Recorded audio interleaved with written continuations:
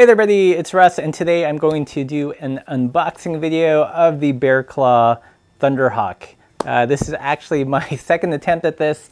We tried a live stream but the computer completely just crapped the bed. Uh, I don't think the Wi-Fi connection is good enough here to do a full-on stream. So uh, you did miss the initial parts of me pulling the bike out of the box, which is fine because that's not very exciting. And we have the bike up here on the stand. Here it is in all its glory. Um, it is a titanium uh, mainframe and a Ti fork, which is pretty cool about this bike because a lot of, or most of the uh, Ti gravel bikes you see out there by Moots, by Lynskey, uh, you name it, they tend to ship with a carbon fork.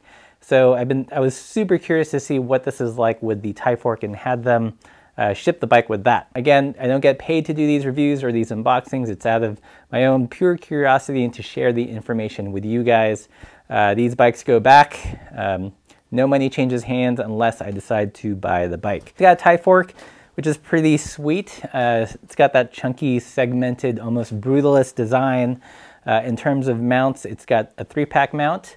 Uh, so you can you know, put the anything cage or, or what have you on here. And also, uh, I think you could probably jury rig a rando rack of some sort. There is a hole at um, right below the fork crown, so it will support that. Might be a little tough to run uh, lowriders, um, but yeah. I mean, you gotta love this brush kind of look of Ti.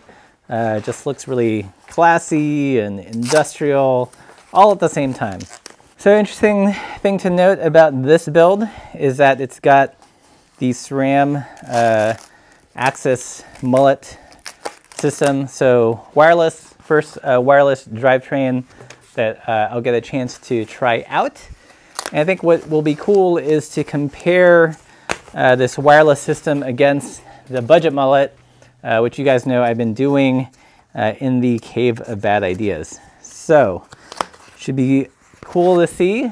Test them back to back. Okay, so in the back here, it looks like we've got uh, some mounts. So you can definitely put uh, a rear rack on this bike, make it very useful. So I believe this is going to have the uh, the 10, 10 to 50 cassette.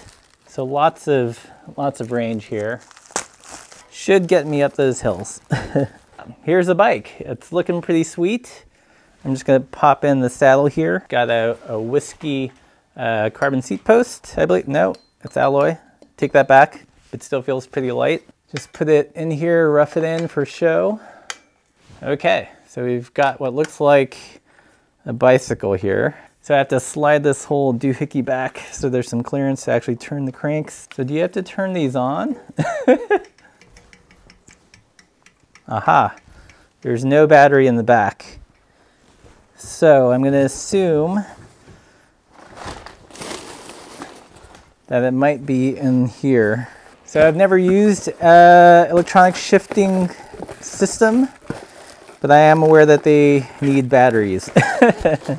so this will be good uh, from the perspective of the noob to see how easy and intuitive it is.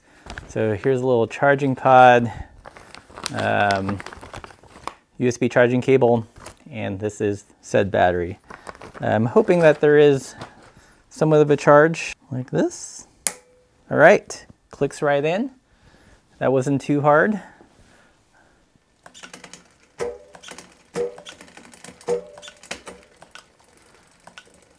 So what's interesting is that uh, it's got two shifters or two shifting pot, uh, paddles left and right. The one on the left controls it going into the easier gears.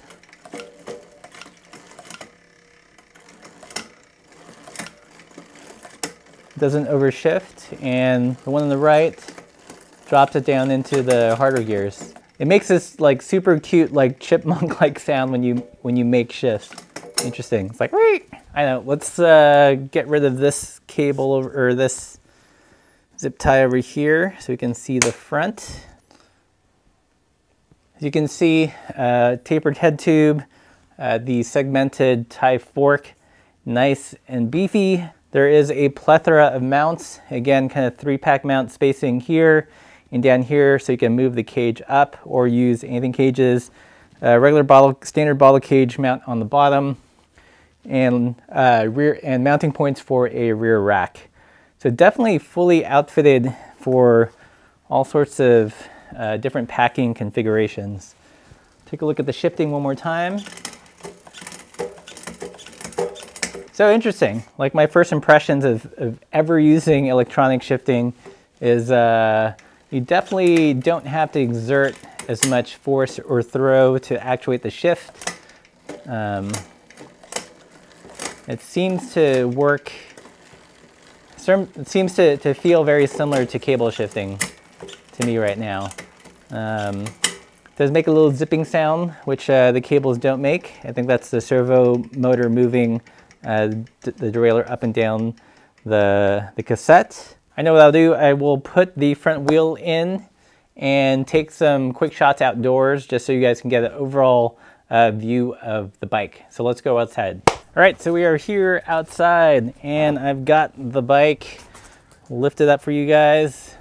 Ta-da! It looks pretty sweet.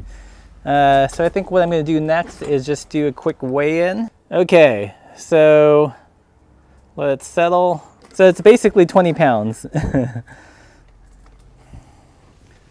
to show you guys. Right?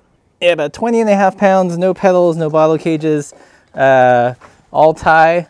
I think the, the Ti fork does add a little bit weight, so you could cut the weight down more if you went full carbon. But I'm so curious about how this Ti fork rides. So as you can see, it's a pretty uh, sweet looking bike. I love the look of the Ti fork. Should be interesting trying the electronic shifting. Again, my first time trying an electronic drivetrain. And we'll see how it compares to the budget mullet, right? Uh, so far, bike looks dope. Can't wait to uh, put some miles on it. And sorry if you guys tried to watch the, the, the live stream, the computer system just shat the bed, basically. So if you want to find out how this bike actually rides, be sure to subscribe to the channel. And as always, keep the supple side down.